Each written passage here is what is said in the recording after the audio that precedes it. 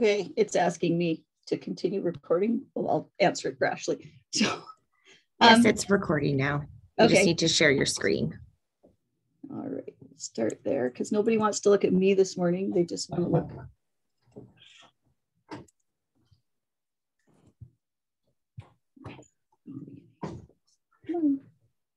Okay, and I will say right up front, Ashley and I did not have any discussion about choosing the same PowerPoint background for our stuff today. this was complete luck of the draw. Um, well, look at that. Yeah, it's. I saw hers and went, "Oh, great minds think alike." So they asked me today if I would talk um, about reproductive management sheep. Certainly, in my practice, I'm getting more and more inquiries, questions, um, people who are interested in it, uh, people who want to do out of season lambing. And so it's becoming a lot more mainstream than it used to be. So there's a lot of information in this presentation. I'm going to hit the highlights due to the time constraints because I can't teach you everything you'd want to know about uh, managing reproduction in your sheep in 45 minutes. Um, but there's more detail in the presentation. And I'll make the presentation available um, to Alberta Lamb. Like they are recording it, but I'll also uh, send Ashley a PDF of the actual PowerPoint slides that they can post on their website. And that way, some of the details you can refer back to because it's a lot to take in all at the beginning. And so that might make it a little bit easier for everybody. Okay, so this is just a little bit of an outline of what we're going to cover today. The first is the big why. Why manipulate reproduction? Why do synchronization? Why not just throw the rams out in the field and lamb in March and April? Um, which is what, if you left the sheep to their own devices, the majority of sheep would want to do. Um, we're going to cover a little bit on reproductive physiology of the ewe.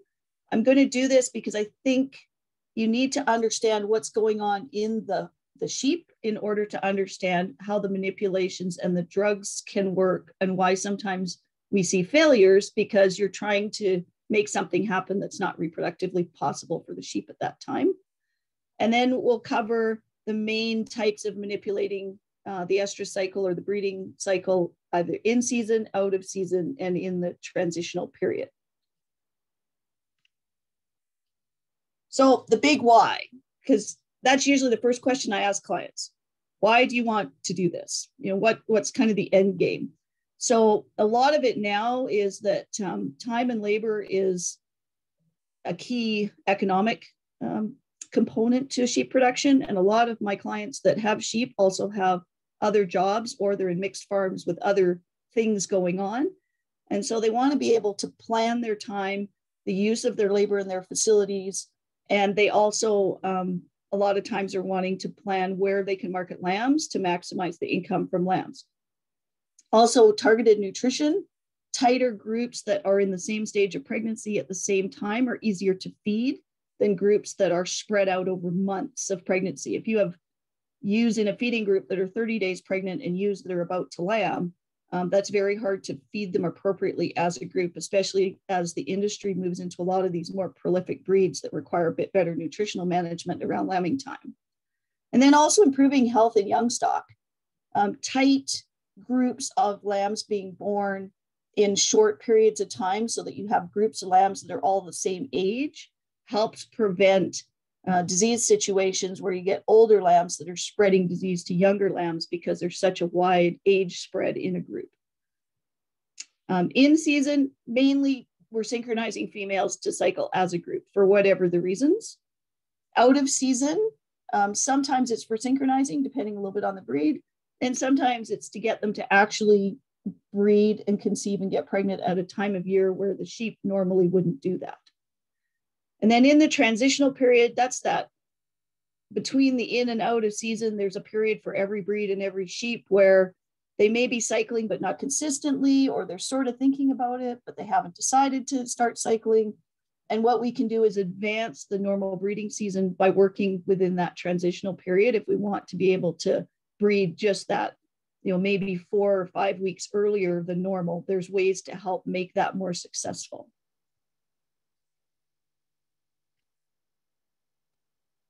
Okay so just um, you know because i think we'll probably have a pretty wide audience of experience today um, in this presentation. So the seasons of the sheep in North America, in Western Canada, where we have what would be referred to as an extreme, um, you know, prairie type climate, uh, our normal breeding season for sheep could run anywhere from mid July to mid January.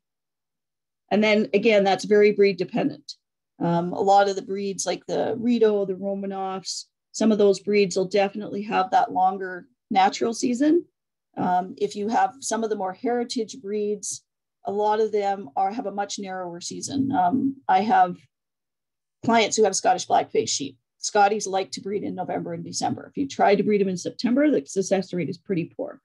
And that's because they've been genetically selected in a very different environment to this to have a narrow breeding and a very narrow lambing season. And the breeding season for the, the sheep is dictated by when they want to lamb. Physiologically, for survival of the offspring, everybody wants to lamb in the spring when the weather gets better and the grass is starting to grow. So for sheep with a five month gestation, that means they truly want to breed ideally between mid September and mid December. And then you know we can stretch that a bit. The transitional period would be sort of that June, July, January, maybe February, depending on the breed. And then what we would consider the out of season or non breeding season here, sort of March, April, May. Those are probably the, some of the three toughest months um, to get sheep pregnant in this scenario. The closer you get to the equator, where the day length is not so different, um, the more year round seasonal the sheep become. And if you go to an island situation like the UK, where the seasons, yes, the day length changes similar to here, but the weather doesn't have the extremes, they also tend to have a longer natural breeding season because there's less differences for the sheep. So, you know, working within those parameters, that's I would call breeding season here mid August to mid January, non breeding season March, April, May for sure. And then you've got these transitional periods on either end, depending on your breed. Okay, so keeping that in mind, and we'll just take a little bit of review about what actually is happening during cycling, during the estrus cycle um, with with the sheep, what's going on inside the sheep. And that'll make more sense when we then start to talk about some of the management and the synchronizing products we have and why they do and don't work at certain times. So the estrus cycle with an O is the whole 15 to 18 day cycle of a sheep during the normal cycling season.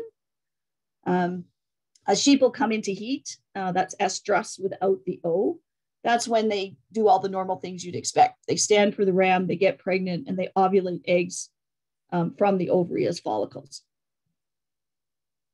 Once that happens, whether or not they get bred, they go into a diestrus period.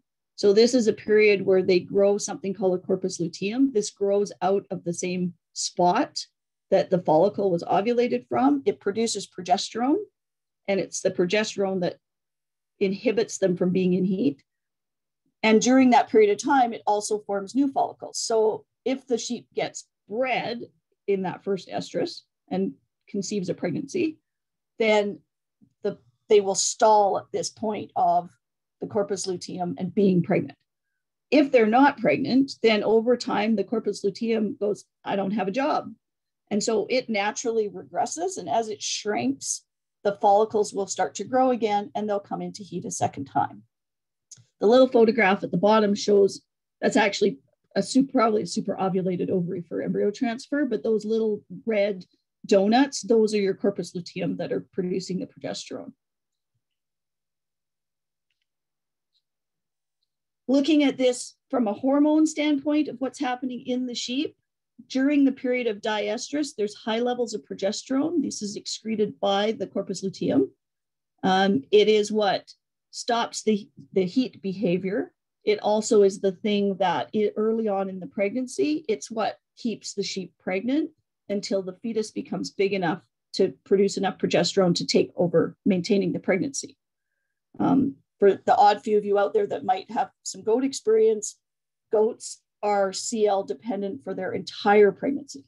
So at no point in a goat can the does the fetus take over, whereas in sheep it does. And so that becomes a bit of an issue for stress and CL regression and abortion in, in the goats that we don't tend to see after about 60 days in sheep. Um, what happens when the progesterone levels start to drop is those CLs will naturally regress if there is no pregnancy.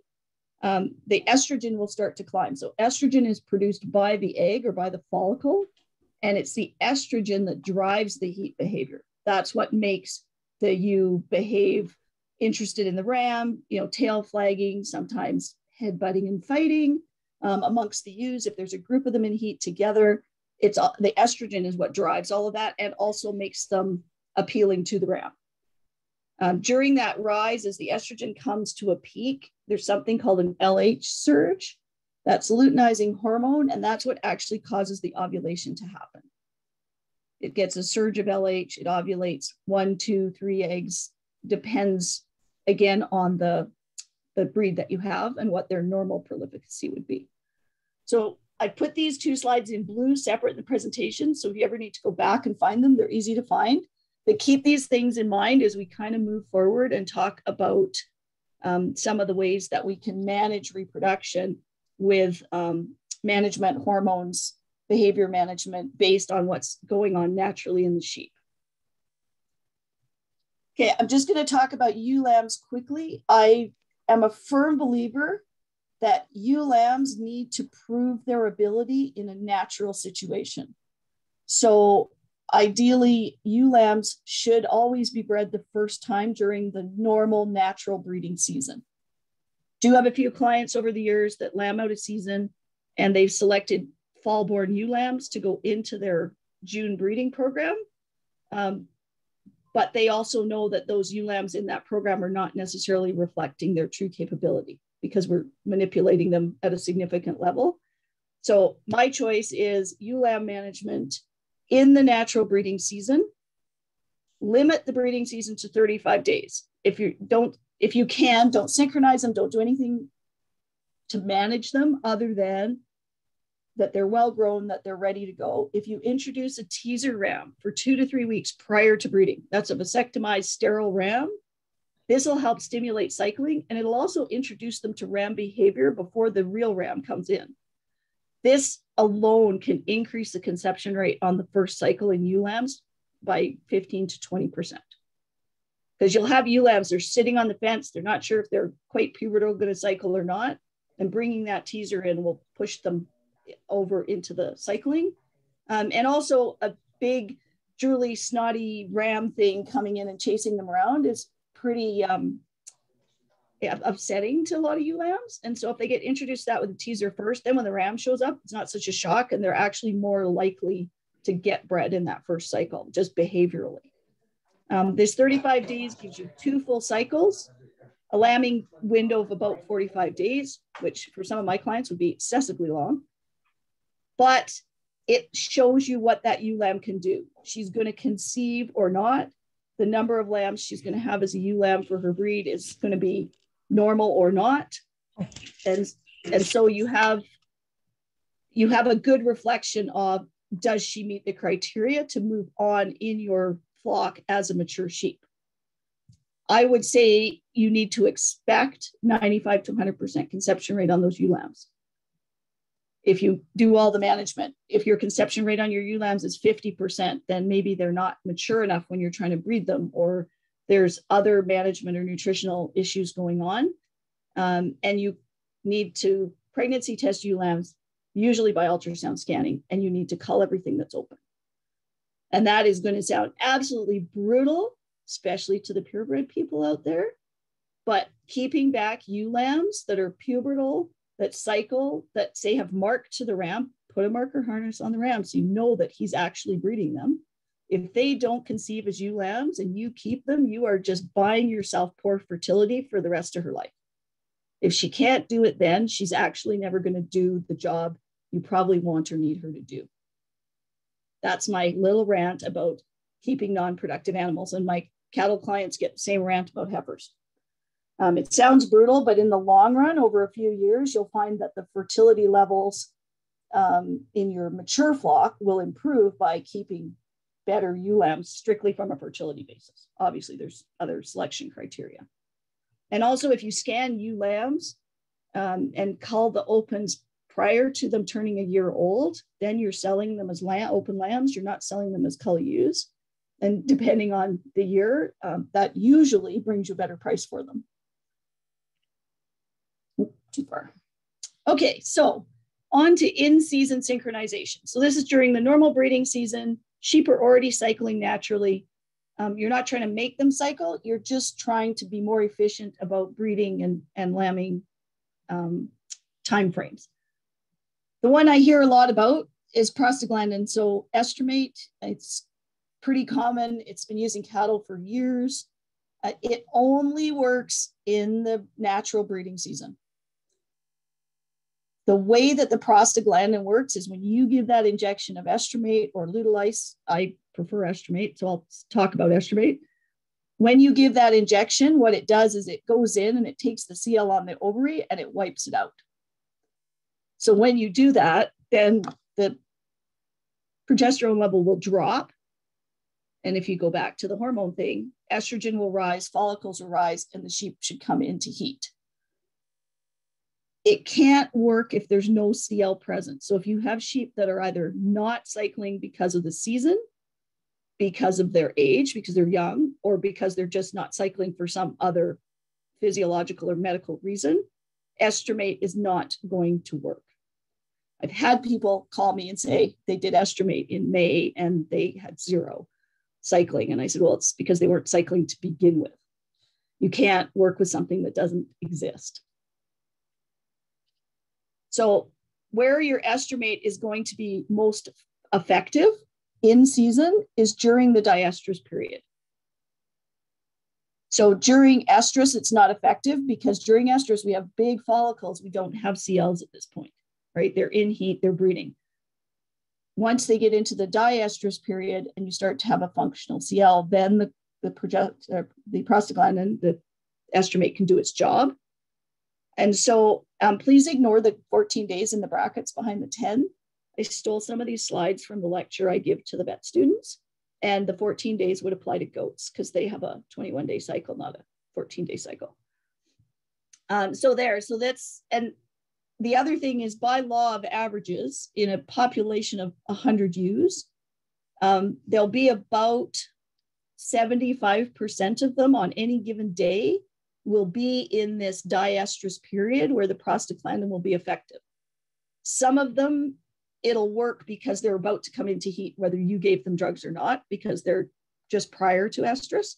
And some of them have just been in heat in the last two or three days. And so it's not going to work on them because they don't have a significant enough corpus luteum yet for it to work. So if you do a single injection, you'll get about 70, 75% of the sheep should come into heat after that first injection. If you want all of the group to come into heat and get bred all at the same time, then you need to wait 11 days and give a second dose because all the ones that came into heat off the first dose, plus anybody who wasn't in the correct phase of their cycle, by the second dose, everybody should land in the correct phase for the Estrumate to work. It's a fair bit of handling, it's a fair bit of injecting. It's not my favorite way to do things now that we have better options, but it is still a viable option, and there are still people out there that um, want to use it. Um, I didn't put it in the presentation. The dose for Estrumate in sheep is one mil. You won't find that on the bottle. Um, it says two mils because it's only labeled for cattle, but one mil um, is effective in sheep. Okay, our second choice for in-season synchronization is to give them some sort of external progesterone source. So when you think about where the hormones are at, if you put progesterone into their bloodstream from an outside source like a CIDR, um, and we'll talk about them a little bit. What happens is, as long as they're absorbing progesterone from the CIDR, then they will they won't come into heat because it blocks the progression on the ovary. It sits there like it's ha- like having a CL that won't go away. And so, as long as the progesterone level's high, they won't form follicles and they won't come into heat. When you remove that source of progesterone, then the progesterone drops just like it would naturally, and the animal will come into heat from the drop in progesterone. So there's two main sources. I'm going to talk about CIDRs. The information there for MGA to add to feed is present on a slide. I'm not going to go into a lot of detail. Before we had CIDRs, um, there were large flocks using it. It can be very hit and miss, and it can be very difficult to manage the feeding of it so that every sheep gets the right amount. They have to be fed twice a day, and it has to be put into a pelleted ration. Um, it's too fine a powder and too small a quantity to just hand mix it. So it's certainly not, I don't think, a viable option for a smaller operation. And I say smaller, like probably if you're feeding less than a few hundred ewes to use that technique. So with the CIDRs that we now have available, um, there's a picture of them here along with the applicator. They're super easy to put in, super easy to take out. They don't stick like the old sponges used to, for those of you who remember those. Um, and they do a very good job of providing an external progesterone source. So what happens with the CIDR is basically you're just keeping your progesterone level high until you decide that you want it to drop and you want the sheep to come into heat. The for those of you who are not familiar with CIDRs, they're a plastic item with kind of a rubbery skin on the outside of them. That rubbery skin is impregnated with natural progesterone. And so they absorb that through the vaginal wall. They're inserted in the vagina and they're, the progesterone's absorbed through the vaginal wall while the CIDR's inserted. So just at the top, my little biosecurity thing, keep your applicator clean between your use slash does and disinfect if you're gonna if you're gonna share them with your neighbor, disinfect the applicators in Virkon and give them a really good scrub because you don't want to be transmitting something like chlamydia um, from a non-clinical carrier in one flock into another flock. CIDRs and ewes, and I keep this handy if you decide you want to use CIDRs because the package, the information on the package for the use of CIDRs is for out of season breeding. And if you follow those instructions during the natural breeding season, you will have a colossal failure of the CIDRs. When the sheep is cycling naturally, the CIDR needs to be in there for at least half of the normal cycle because you don't know where that sheep is in her cycle when you insert the CIDR. So they can be put in for 10 to 16 days. You've got a, a range there. So I have clients have large groups of sheep and limited numbers of rams. And so they'll put them all in on the same day and then pull them some every day or some every other day. You've got a window of opportunity there, which management wise means you can at least insert them all the same day. You don't have to divide the groups prior to insertion. You can divide the groups for breeding as you pull them out. Generally speaking, um, in the normal season, females come into heat 24 to 48 hours after CIDR removal. In my personal experience, if you put a ram out with a marker harness on and he is not marked to you within 72 hours of pulling the CIDR, she has not cycled appropriately off the CIDR and she's not going to until her next cycle. So realistically, for for synchronized breeding, the rams only need to be in with the ewes for two or three days and can be removed because then, unless you're going to leave them in for a cleanup cycle, a second cycle, if they haven't cycled and got bred by 72 hours, they're not going to. They will remain loosely synchronized for the next cycle. So if you want to leave the ram in for a cleanup cycle, the upside is at lambing is you'll have hopefully a big group lambing quite tight, and then you'll have a little break but you'll know when to expect the next group because they'll they'll be roughly two weeks later, but they'll stay together as a group. So they should still lamb reasonably close together over maybe a few days or a week. Um, I would suggest introducing males at 12 to 24 hours after removal. If you have mature, experienced breeding males and you want to put them in as you're pulling the CIDRs because that's just convenient for time management, that's fine. Um, if you have younger, less experienced males, and throw them in right away. The ewes do have a different smell from having had the CIDRs. And so sometimes they'll just they'll start breeding too soon and kind of exhaust themselves before they actually need to be doing the job. So I always wait at least 12 hours before I turn the rams out.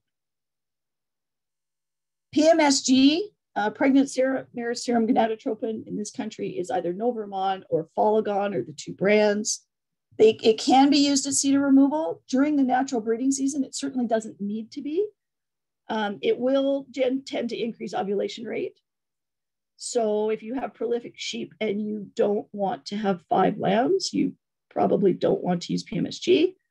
It does increase the synchrony within the group. So if you use PMSG, the ewes are going to come into heat even tighter than that 48 hour window. They might all be in heat between 18 and 36 hours. Um, we use it for AI and embryo transfer programs because we need them to be in all the ewes in a group to be in a very tight heat, but then we're going to breed them. We're not asking a ram to do that. Um, it is essential to use in out of season programs to force the ovulation, and we'll talk about that a little bit um, when we talk about out of season. CIDRs come in bags of 20, um, should be available through your local veterinarians. If you're stuck and they either can't or won't get them in, um, then let me know. We will sell them to people. Um, and the other thing is if you if there's people who have a small number that they want to do this with, I do have a few people who have little groups of pet sheep and they have five and they kind of like them to all lamb close together. Um, we will split bags for people and sell them individually. And most clinics won't do that. So get a hold of us if you need to. Okay, here's the information on the MGA. Like I say, it's it is cost effective, but you need to have large numbers and you need to have the feed made, and that's becoming more of a challenge. So the information's here for people who are interested, but I haven't had a client use it in a few years now because it's just got too many other headaches that go with trying to do it this way. Okay, so out of season synchronization. So here's, I guess, some of the reasons that people do it. One is to hit the higher market lambs. Uh, lambing in, you know, November, December, often 4-H market, the Easter market, but you have to convince the sheep that they want to do that. Um, some people are doing it to use their labor and their facilities better, so they have one or two different groups of sheep and they lamb them at different times of the year. Um, it is tougher to get good conception rates. I firmly believe that no matter what breed you have, you cannot just turn a ram out and expect to have enough sheep get pregnant to not just make your life a headache. Um, so it does require some drugs and some manipulation. The other thing is genetic selection. Um, some breeds have a longer season and breed out a season better than others. The Ile de France in France, about 70% of them are bred in June for fall lambs. And so they've been genetically selected for that more than some breeds. Rideaus, Dorsets, the Katahdins, the Romanovs are longer season breeders. Um, but there's still a lot of variation within a breed. So going to an out of season breeding program, often the first year is a bit of an experiment where you set up a big group and you see who plays the game. And then going forward, you try to use the ewes and their daughters who did it for you initially. You, you kind of select a group that breeds out of season better within your flock. The other thing is ram fertility is lower out of season. So you have to have less ewes per ram to breed, especially synchronized than you would in the normal breeding season. So you need to keep that in mind. And also there is a bit of a hereditary factor. So if if the long-term plan on your farm is to be able to breed some of your ewes or all of your ewes out of season, then ideally being able to keep ewe lambs that were fall born, that were born out of that out of season breeding, will hopefully increase your odds that those ewes coming into your flock will breed out of season themselves. So you can kind of stack your odds a little bit. That said, I still think that even with drugs and manipulation, if you can breed out of season and get about a 75, 70% conception rate, you should be very happy with that. And your prolificacy, you will see more singles if your breed normally twins. And if you have a more prolific breed like a Rideau, you're probably going to see more twins and singles and less triplets that naturally the number of ovulations tends to be lower in the out of season as well. So the main methods of doing this, um, one is to use progesterone and PMSG, and the other is through day length manipulation. So basically faking the sheep into thinking it's fall, even though it isn't. So this is basically what's going on on the ovary of sheep that are in the non-breeding season that aren't cycling. They just have these static ovaries that are doing nothing. So you can see why prostaglandins are not going to make these sheep cycle because there's no CL to lyse because they're not active. So you have to do something to stimulate the ovary to actually become active if you want success. And that's also why if you just put a ram out, that doesn't necessarily work either. So what we do is we add progesterone in the form of a CIDR. Progesterone goes in for seven to nine days. I think the package says five to nine days. I've never been brave enough to go as short as five days. I usually tell my clients seven to nine days will, and that presence of the progesterone, suddenly the ovary goes, oh, there's some progesterone here. I should make some, I should develop some follicles. So you're basically faking the ovary into thinking that it's starting a natural cycle, that there were CLs there. There aren't, but it doesn't know that. You've given it progesterone. So then when you remove the CIDR, you've got these follicles that have developed. One of two things can happen. One, the follicle could ovulate naturally and the sheep could breed, get pregnant. The other is that she'll go through all the appropriate behaviors because she's got follicles and she's producing estrogen, but they have what they call a non ovulatory cycle. So that follicles don't actually ovulate so she behaves correctly, the ram breeds her, and then the pregnancy rate is very poor. And that's because they didn't actually release the follicle or release the egg. The sperm can't fertilize something that's not there.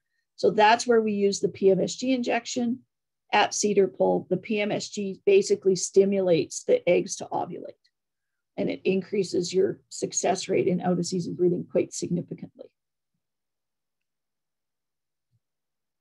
That's pretty basic simple as far as the using the CIDRs. Um, manipulation of day length. So basically, again, you're basically convincing the sheep that it's fall, even though it's not, and that the days are getting shorter, even though they're actually getting longer, considering June's the longest day of the year. Um, the original method of doing this requires an absolutely light, tight barn. You cannot have any leaks of light. It does not require very much light to stimulate the pineal gland in the sheep. And so even the amount of light that would come through like barn fans, wall fans, is too much. Um, so it's never really been very popular in Western Canada because a lot of us don't have those type of barns.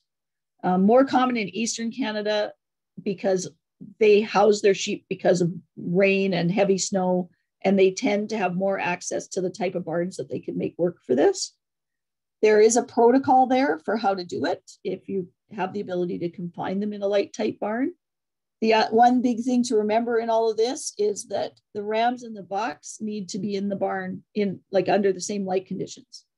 They need to think it's fall as well. And we'll talk a little bit in, I'll just, when I get to the rams, we'll talk a little bit about why that is. Um, there's also OMAFRA's website, um, they give you some charts about if you want to breed May 15th, then you need to start your your uh, long days, your light days, December 15th. It gives you some time frames. Um, but like I say, for most people, it's not an option because they don't have the barn facility to do it. Um, there has been some new research out of Quebec. Um, Johanne Cameron was involved in this. And what they've done is they've decided that instead of trying to put them in a light tight barn and make the days shorter, that you make the days long, so 22 hours, for a period of time so that the sheep think the days are long, even though it's winter and they're not long. Um, and then when you turn the lights off, as long as you have an eight hour drop in day length, so it drops down to 14 hours, then the sheep thinks there's enough of a drop that it's that it's fall and they can start cycling. Um, and this can be done with yard lights or it could be done in like tarp barns with with lights you can you can manage on a timer to turn on and off. Um, we do a little bit of a version of this if we have rams that stand in our barn all the way through the winter after collection and they're staying for the next year. If we want to start collecting early, we start running them under 22 hour days in February. And then when we turn the lights off at the beginning of July, it drops the day length enough. You do have to remember that in Alberta, the longest day of the year is just about 18 hours.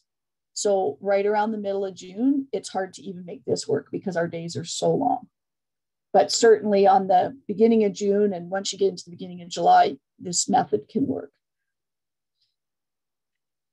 Okay, in the transitional period, basically the goal usually is to be able to breed a little earlier than you normally would. So you want to get them cycling.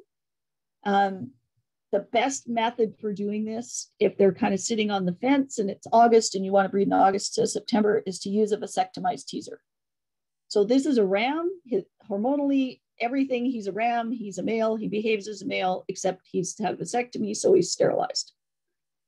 Um, this, you can see this picture, the Romanov ram in the middle is the teaser with a bunch of woolly white sheep. I recommend often my clients choose a teaser that's a breed that's not their breed so that when they're drinking their coffee and they look out the window in the morning, they don't have a panic attack. They go, oh, yeah, we put the teaser out yesterday, not, oh my God, the rams are out with the ewes. Because that's kind of, I, I've had a client do that and then realized it was just the teaser.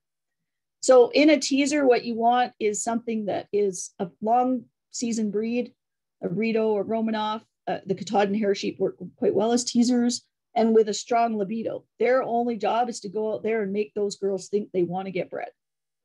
Um, and so they that's the what you're looking for in a in a teaser. They don't have to be pretty. It's nice if they're quiet and well mannered because you have to deal with them.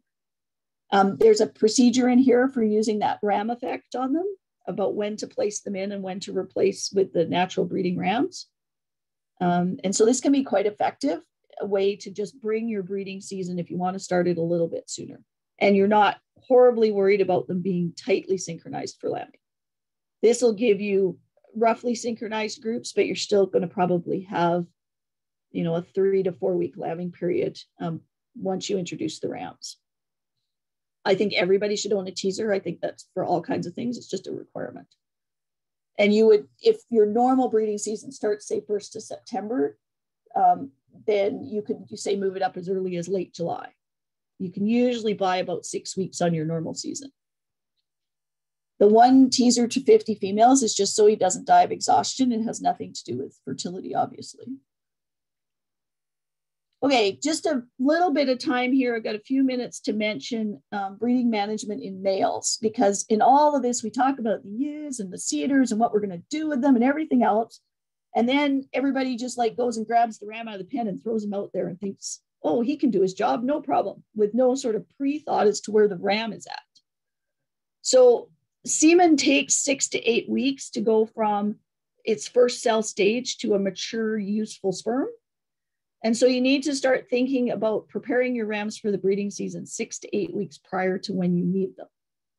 So routine management procedures like deworming if you're doing that, shearing, foot trimming, you know, any of those type of things. You don't want to be doing those three days before you put the ram out. Nothing makes me crazier than to go and semen test rams that they're putting out in a week and they trim the feet while we're doing it and they trim a foot too short. Now the ram is lame and he has to go breed sheep in three days. Try to do all those things well ahead. So if there's going to be any issues or you're going to discover an issue, you've got time to deal with it. Severe stress or illness can damage season or semen. So fever, frostbite, poor nutrition. Um, sometimes even if new rams have mixed and they've had a big old punch up gang fight in the pen, that can be enough to cause semen quality to decline. And it can take six to eight weeks to have good, healthy sperm coming behind that. And so you need to consider all of those things. Um, body condition scoring, I like to see rams at about a three and a half. If they're out there doing their job, they, they will lose weight. Um, so you want them a little bit better conditioned at the start of breeding, but over fat males have poor libido because they're fat, um, and often semen quality is decreased. They can pack a fair bit of fat in the scrotum, and that kind of cooks the semen, especially breeding out of season. Then fat, lazy males in June don't do a very good job breeding ewes because they just don't care. Then I was quick. I was slow in the draw there for a question that's come in the chat from Justin. Mm-hmm. Uh, I'll probably butcher it, but isn't it epid did a mectomy. Epididyectomy? Yeah, you say that 10 times fast. As effective as a vasectomy. Absolutely. Both both procedures work equally well for the teaser as far as making him sterile. I do vasectomies because I'm quick at them. It takes about 10 minutes to do them.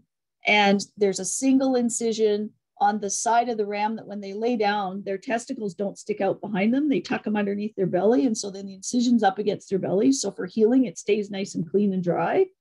But if a person, if a vet's not comfortable doing that, would rather take the epididymis off, which is that little knob on the bottom of the testicle. If they remove the epididymis, they've effectively removed where the ram stores the semen and there's no passageway. Um, it's the version of the Coquihalla Highway right now You just took out the bridge. And so that either procedure is fine. I just, like I say, the vasectomies, they're quick, they heal quickly. I don't have issues then with a, an incision or sutures right along the bottom of the scrotum, where, you know, I think the potential for them getting dirty, especially if you're doing them, like if I'm doing them in the fall and it's kind of wet and disgusting out, I just think in, the risk of infection is less. So, but whichever the vet's comfortable with is going to work equally well as far as producing a teaser for you. I think that's the key thing is if if they do a vasectomy and they don't do it right, um, and they take out something other than the vas deferens, um, you will have a teaser that's still fertile. And I had a student who graduated from Saskatoon a couple years ago who took a course from me, and she called me and said, "So, I just went and semen tested six teaser rams that are not teasers; they're still rams."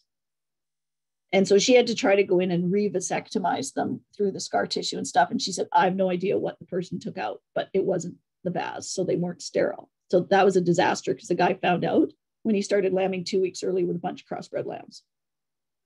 So that was not. So either technique, as long as it's done well, I think is just fine. Perfect. Thank you, Lynn. Okay, RAM to ewe ratios. We also need to consider this. So the age of rams. Ram lambs, as you probably all know, cannot have the same expectations put on them as mature rams. So in an unsynchronized natural breeding in season, you know, ram with good testicle size and semen quality situation, a mature ram should be able to breed 30 to 50 ewes in that, say, 35 day two cycle window. That should not be a challenge for him. There's certainly rams that would probably breed more than that. Ram lambs, we generally recommend 15 to 20 and to pay attention when you first put them out because sometimes it takes them a while to figure out which end they're supposed to be breeding. They're usually smarter than than bull, you know, yearling bulls, but make sure they're actually performing the task and that it's not about fertility, then it's about understanding the job. Um, rams also have a seasonality. Again, you know, depending on your breed. Are you breeding at peak time? Are you breeding out of season? Are you breeding in the transitional season? You need to think about that with what you're asking of the rams as well. Size of the breeding area, especially if they're synchronized. Rams, if rams have to travel huge distances between in heat ewes, they're not going to be able to breed as many sheep. That's just a fact of time and space. So, out in big pasture situations, I always recommend, especially for synchronized breeding, is keep them in in smaller pens if at all possible or small paddocks. Get them bred. The rams only need to be in there for a short period of time. Pull your rams out or leave them in for the cleanup cycle and then kick them back out into a bigger area. But don't ask the ram to cover you know 10 ewes a day for a week on a synchronized breeding program in 160 acres because the poor guy's going to die of exhaustion um, especially out of season when it's hot because again, you know, they don't like to truck around when it's 35 degrees in Vulcan, Alberta.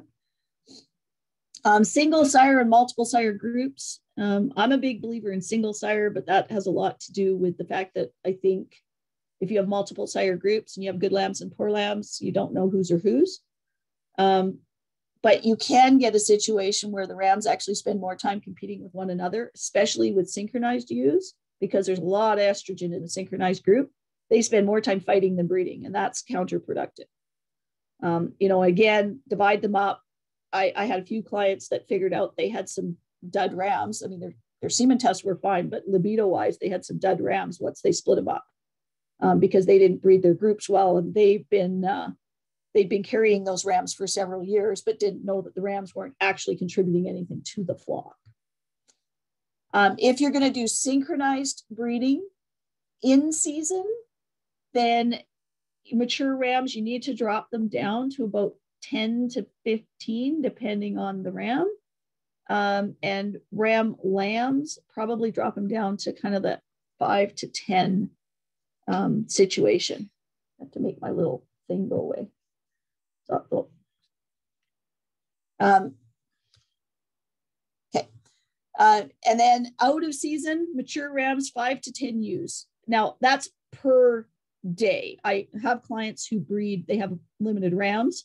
So they'll breed a group of, say, 350 and they've got 10 rams. And so they'll go, okay, well, if we've got 10 rams, that means 35 ewes go to each ram. We're going to breed over a week. So that means each ram gets five new ewes every 24 hours.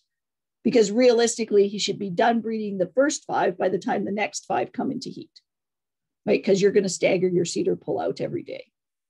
So that's on a sort of per 24 hour basis. I would not recommend ram lambs out of season, period. If they were spring born and they're coming yearlings, maybe because they've been through a pubertal season in the fall naturally and they've matured. If they are fall born and they're six months old in the spring, I would not use them. My concern is that they haven't actually had a normal season to hit puberty yet and I think you could be massively disappointed. So that that is my recommendation. I don't have any clients who are using ram lambs out of season. They just let them grow up a little bit. Um, just a little bit so you wrap your head around semen production in these guys begins at puberty. Obviously, that's going to vary with age, breed, and season. So I often find that fall born ram lambs do not really hit puberty and they may be fertile, but are they functionally useful for any significant breeding before they're almost a year old? Because they hit six, seven, eight months of age in the spring, which is not a normal season. So they just don't kind of hit that puberty until they start getting into their first normal breeding season in the fall as a, you know, coming yearly. Um, 47 days, so six to eight weeks for functional mature sperm to be produced. That's just a fact. And so anything that happens that could knock sperm out, you could be six to eight weeks for fertility to come back on that ram. That said, healthy mature rams, 10 billion sperm a day. They can breed a few sheep with that. Breeding soundness exams, I'm a big proponent of this prior to breeding season, especially if you're going to breed out of season. Nothing more disappointing than all the drugs and all the work into the ewes and putting rams out in June that just don't have the semen quality to do the job. Testicle size does decrease, semen production goes down, libido goes down, and semen quality declines in the out of season. That's just a natural, the ram's not thinking he's really needing it right now. So it tends to drop off a bit. Doesn't make him sterile, but it certainly decreases. And that's why we decrease the numbers you can breed to um, as well. And I think it's important to, to semen test them and make sure that the rams that have been chosen are going to be able to do the job. And in our semen facility, we quit collecting semen typically by the end of January because in early February, we collect it. It looks okay, but it doesn't freeze. By mid Feb or by late January, early February, mid February, we collect it and it looks okay, but it doesn't look good after we've chilled it. We don't even bother trying to freeze it. By the end of February, the Rams just look at us and go, What do you want us to do? Like they don't even have any interest in collecting. And so, you know, I think that's reflected in the natural population. So we have to remember that. Um, the reason I have these pictures here, and yes, I will admit the one in the middle is a dairy goat, it's not a sheep. Um, if you look behind a, a ram or a ram lamb and you can't actually see the testicles, they're not big enough. I mean, you can measure them and everything else. We do all those things. But sheep, you should be able to see those testicles. If you can't see them, they're pretty darn tiny. And so, you know, there's your first culling process if you're looking at uh, ram lambs. Or if you're looking at a ram that all of a sudden had good testicles and now has something happened that the testicle has has basically atrophied because that can happen through trauma and a few other things. So these are just the things that are generally done um, as far as a breeding soundness exam. This part of it, every farmer could do for themselves. You don't need a vet to do this for you, and it will help you a world in assessing where your rams are at. So obviously, you know, health and breeding history. Did they breed before? Are they healthy? Are they good body condition? Um, scrotal measurement palpation. Um, measuring testicles, there's a technique to it, but it's not rocket science. Um, I have a few clients that do their own. I've sold them the tape to do it. And just like in any other species, the size of the testicle does reflect on their ability to produce sperm. tiny testicles do not produce as much sperm as bigger testicles. That's just a fact. Um, also, you can check for if they're cryptorchids. I have gone to semen test rams that I go, you do know he only has one testicle, right? And they didn't. Um, examining the penis in the sheath just to make sure there's no scars, adhesions, injuries, anything like that. Um, you can actually get the penis to extend on a ram quite easily if you sit them in the shearing position and then roll them forward. They'll that puts pressure on the sigmoid flexure, um, which is just above the scrotum, and it'll push the tip of the penis out. So if you have any concerns that you know there might have been an injury or anything, and then semen collection and evaluation, I'm a big proponent, but I will tell you that on the whole, rams that meet all these other criteria that are in good shape, good health, and have good testicle size that palpate normally. Um, those rams typically have good semen. Um, so even if a person just did that much, you're a long ways towards discovering a problem to solve or getting rid of rams that aren't up to the task. But then we can go on and actually do semen evaluation. Um, this just gives you what we use as criteria for scrotal circumferences. Um, and I'm pretty brutal about that. Small testicles, I put a big F on the semen evaluation, no matter what semen looks like, especially if they're for sale. This is what the scrotal tapes look like. Um, we sell them if people want one. They're about $45 and it'll probably last you a lifetime. I wear out about one every year, but I use mine a lot. So um, so yeah so i think you know if, if more people started looking at the, those criteria um, you could help yourself a long way on assessing your rams. And then as far, as far as actual semen evaluation um, we collect them with an ejaculator just like with bulls there is a bit of a finesse and a technique to doing it in rams. I have heard some horror stories. Um, so if you're going to ask your local vet the first thing is do they have a ram probe? Because if they don't they can't do it. Um, and do they have any experience doing rams because I have heard some horror stories about rams that basically were run on cattle cycles and cattle, the power levels in the machine. And it, it was horrible for the rams, I'm sure, and for the owners. Um, so it does take a little bit of finesse, but absolutely can be done. I have done some groups of rams in um, May and June for people who are breeding out of season where the rams have had really good semen quality. So it is possible um, I think as more people go to some out of season breeding, we need to be more selective for rams that can provide that service because not all rams will do that and not all breeds do it well. All right, look at that on time. And this is the end goal. Everybody wants to see lambs in the straw in the springtime or the fall, depending on what you're doing with your manipulated breeding. Perfect. Thank you. Dr. Lynn. Uh, with that, we'll give an opportunity for a couple questions and then uh, we will make some decisions on next steps here. So I would open, just as a reminder, uh, everyone is muted. So if you do want to ask a question, you can type in the chat to have me moderate it or unmute to ask a question.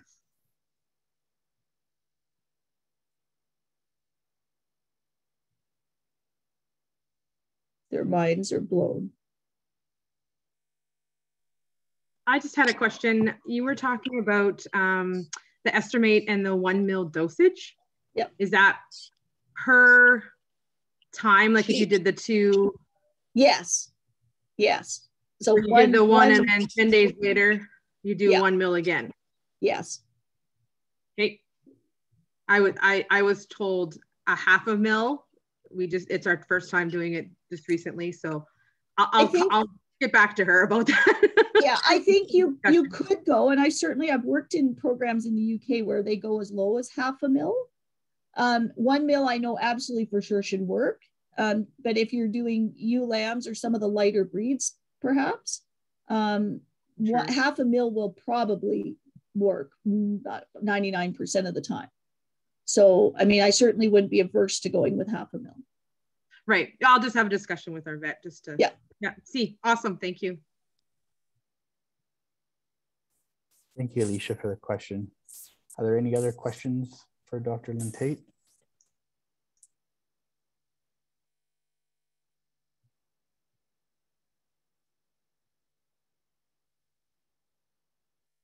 All right, that concludes uh, today's presentation on techniques for managing breeding in sheep presentation. And I just want to thank Dr. Lynn for your presentation. Uh, I really appreciate your blunt approach to ewe-lamb management and providing all these multiple different techniques uh, for managing breeding in sheep. So thank you very much. Um, also for those on the call uh, that may want to review some of this content of, of today's presentation, it will be made available to all producers through the Alberta Lamb Producers YouTube channel, Alberta Sheep Central. I encourage you uh, to check out our channel and subscribe for notifications. Uh, we have quite a few historical videos as well as all the 2021 webinar series uh, uploaded to that channel. So with that, um,